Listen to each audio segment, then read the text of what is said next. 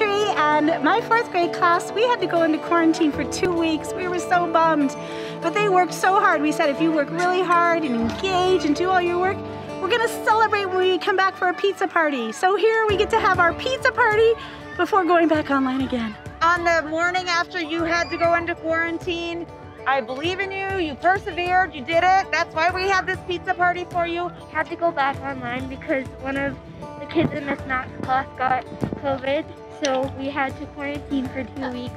And since we were good with our work, we got pizza. That was our first class that had a positive COVID case, and so we knew they were going to be quarantined for the, the full two weeks. We talked about it's going to be hard, but you can do it. We need you to persevere. I said, if you guys can stay engaged with Miss Mac for this whole time and just really be hashtag Dragon Strong, we will celebrate you on the 13th with big pizza party. Little did I know that was gonna be, they were gonna come back for one day, get their pizza party, and then we're gonna be going back to remote. But I'm so glad we got to do that.